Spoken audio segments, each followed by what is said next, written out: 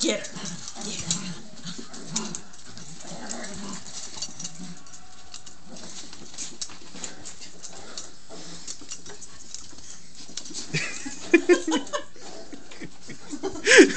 Get her, Brawley.